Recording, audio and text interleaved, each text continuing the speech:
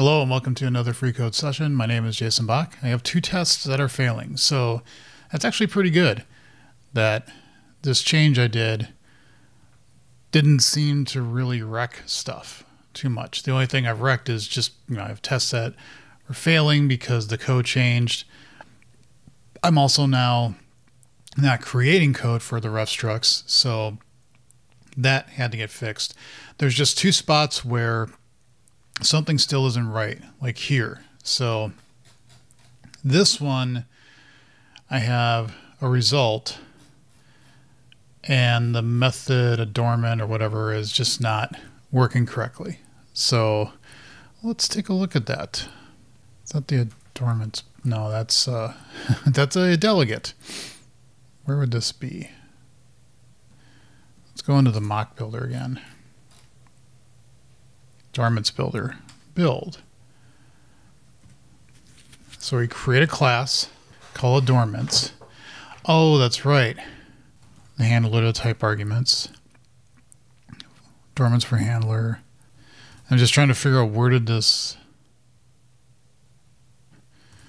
where did this go wrong? It's in the creation of the I dormants for adornments for handler. So it's this thing, right? So somewhere in this pipeline, because these get created every time something happens, and for whatever reason, I now we got to go look at. That's the one thing about this with this pipeline thing is trying to trying to search through it all is trying to be a little bit hard to go. Where did this actually happen? Well, let's come back here because I think this is what's getting expect method expectation builder property expectations builder. Okay, so where is this being used? In the method builder. Where is this being used? Okay, so we add a new adornments type, type arguments, constraints. It's the callback delegate name, I think. Or I'm getting lost. It's the return value. Okay, so, aha. Found it. Found the enemy. If it returns void, you do empty. Otherwise, if it returns a ref-like type, we do that. Really? This was a day ago. And I'm assuming, yeah, it's the same. Okay, so we need to not do this anymore. If it's a ref-like type, we should be able to just say global system dot func of whatever the method's return type build name. Okay, I think that that's one that's failing. What's the other one? When the parameter is scoped. And what's the error there? Looks kind of similar. Hard to tell. So we are doing, we are creating a delegate, which is not correct. We should not have to do that. Well, no, that's not true. This is for a ref int, it's a scoped. And we need to do this because you can't use a scoped with the funker action. So that is actually okay. Yeah, it's this. I bet with that fix, let's just do the result one now and see if that changes anything. We'll, we'll keep the code as is right now and we'll see what the difference is between the two. Okay, so now it's failing because the source is different. And it's because we're now saying a system func instead of this. Yeah, okay. Let's do this, grab all the code. I'm also trying to do as many of these with keystrokes as possible. Rather than clicking the mouse, going up here, doing that, and hopefully that makes this go slightly faster. Okay, now what do you do? Now you succeed. Okay. And then what about this one? That that's going to fail because now the diff there's a difference in the source, right? Yeah, and we can't see it because there's so much. So let's just go right to doing the dance, and, and I'm just going right to the mouse because Oh, we got to do the test log. Okay. That's one thing I don't like about Visual Studio is if your window is meant to not dock, it will go back, but your mouse is over it, it doesn't go away. The the window will still stay up. And I I guess it is what it is. But I wish if I gave the focus back to something else, then that window would close, even if my mouse is over it. Still failed. Oops. That's not good. What's this? Cannot use variable result in this context because it may expose referenced variables outside of their declaration scope. Uh, sure. I need some coffee for that one. Well, let's just go to dump this code somewhere and take a look at it. Sure, why not dump it here? And let's move that up. Uh, what are you doing? Over here.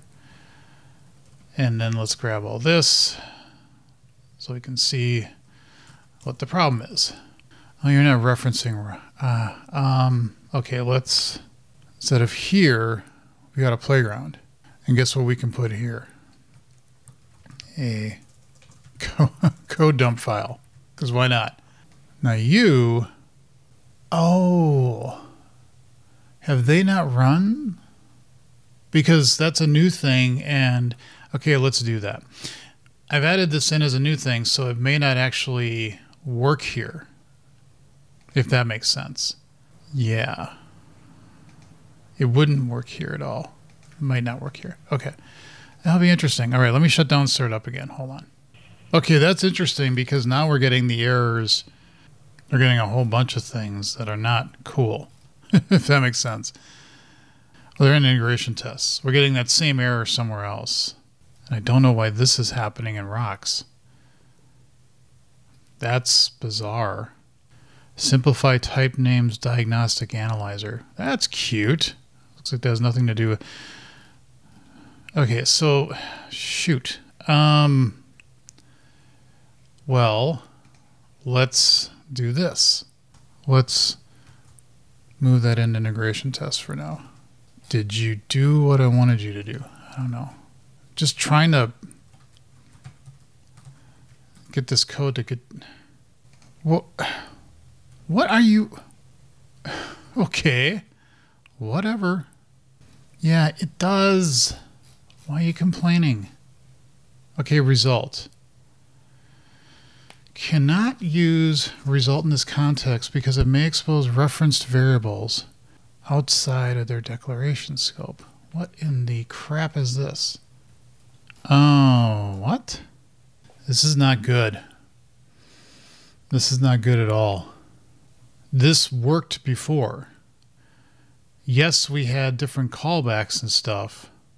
That was not an issue before. And now it is. Okay, I may need to do some research on this off camera because I don't know what just happened here.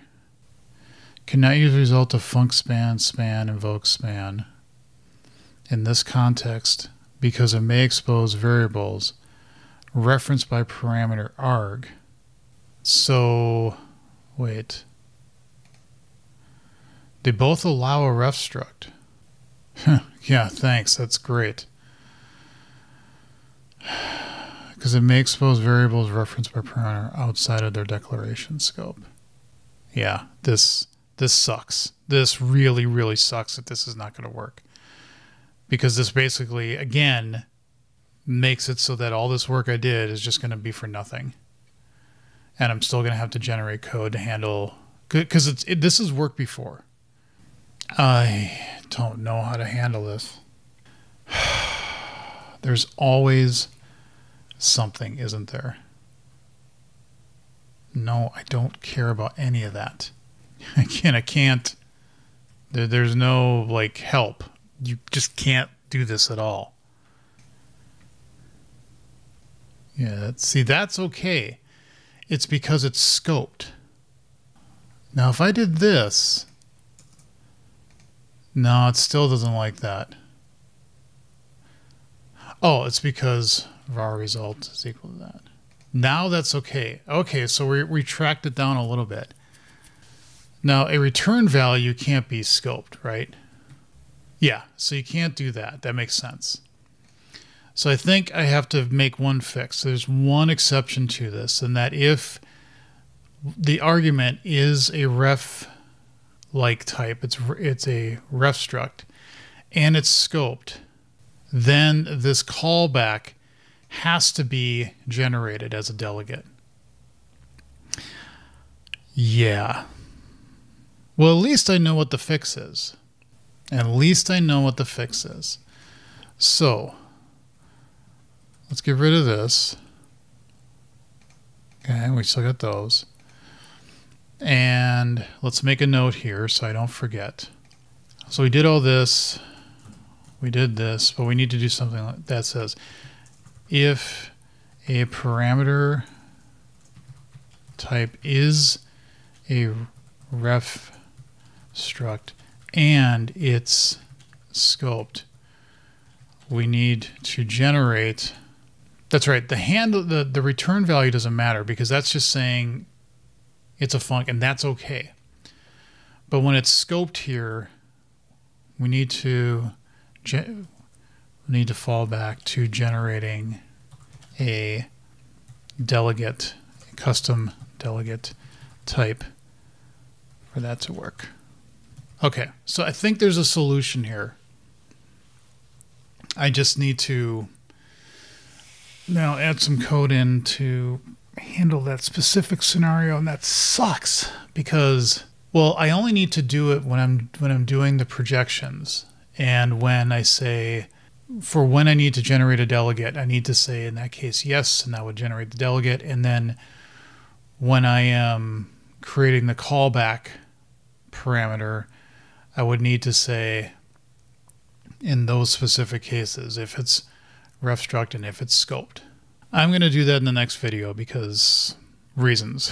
I need to just get some more coffee and and get my bearings straight as it were. So, but but this is not bad because because at least I think there is a way to resolve this issue, which is a good thing. So we'll handle that in the next episode. Thank you all for watching. Leave comments and questions below. See you in the next episode.